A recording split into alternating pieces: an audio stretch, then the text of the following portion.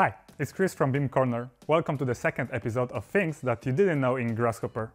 I will present 5 new things that you probably haven't seen before. To get regular emails from me about Grasshopper, join our community. Go to learngrasshopper.com, click the join button and click the confirmation link in the email you will get from me. You will be getting all the latest videos, learning materials, and inspiring links about Grasshopper directly to your inbox.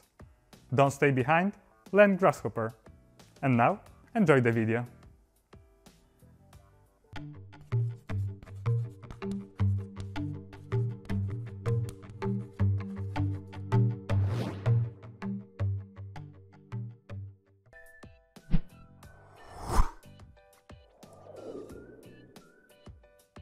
Average component is mostly used with numbers and values, but here I will show you the second way of using this component. Let's draw some points in our Rhino.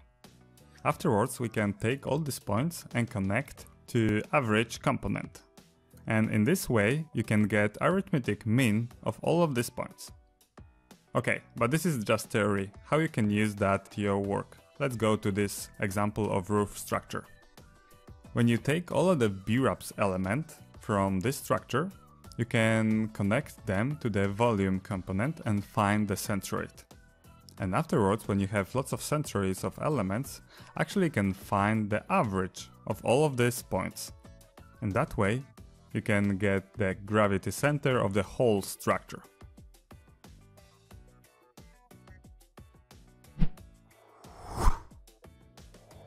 Next one, remote control panel. Sometimes your script can be huge, and it can be really hard to find all your inputs. That's why Rhino developers have created the tool called Remote Control Panel. You can find it in the View Remote Control Panel. This tool works that you can send all your sliders to the one table. And this one table will represent all the inputs data that you have on your script. So right click on your slider and click Publish to Remote Control Panel. In one table you can find all the input that you have sent.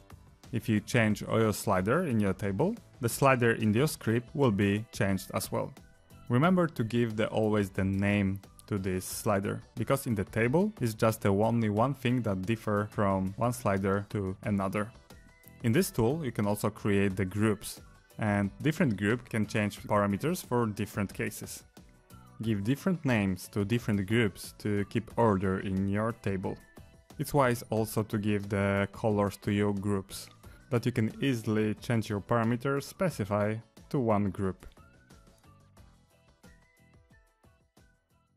If you would like to learn and read more about Grasshopper, I have prepared a free Grasshopper guide.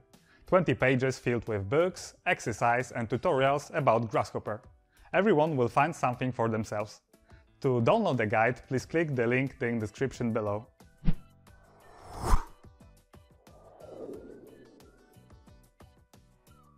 Everybody knows that searching tool in Grasshopper doesn't work properly. Every time when you try to find your component you need to write down whole the name, first result will be most relevant. Go more to the top, you get less relevant components. And at the top you can find even rhymes. But the thing is that you are not always finding your component as the first. Let's go to an example. Most common used uh, component in Grasshopper is list item. When you right click in your ribbon and component alias and you to write L, afterwards when you double click you can write just L and click enter to choose your component. The same you can do with the curve. When you write CUR, the curve component is on the third place. But actually after changing alias to C, you can just put the C and it will be first element in your list we go to next one, explode tree. Sometimes you need to use explode tree component. Let's go to an example and I will show you how to use this component properly. I'm creating now the data tree with the 5 branches.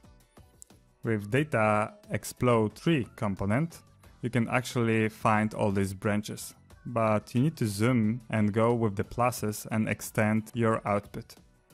But actually you can skip this work of manual clicking plus. Go to explode tree, right click and match outputs.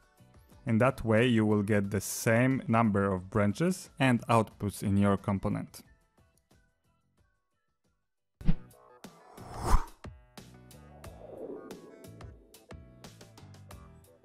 Okay, maybe sometimes you have this situation that you need to put the nulls in your empty branches.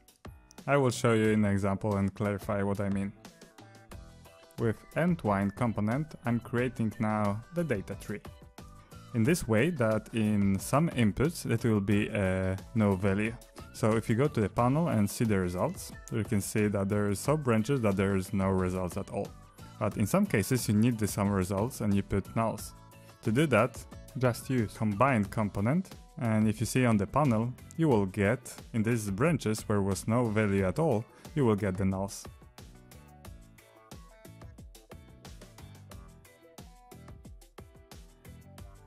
I'm sure there are more easter eggs in Grasshopper that I didn't mention, so if you have any, let me know in the comments below. Remember to subscribe to this channel to get even more tips. That's all for today, thanks for watching, see you next time, have a good one!